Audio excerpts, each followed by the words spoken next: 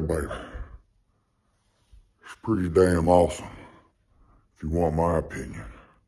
I call it the HDRT Reflex Capacitator Ultra Dominator Turbski Single Turbine Rear Mount Turbo System. It's all damn badass. Oh yeah, baby. Links in the description, Pimpin'. Ooh.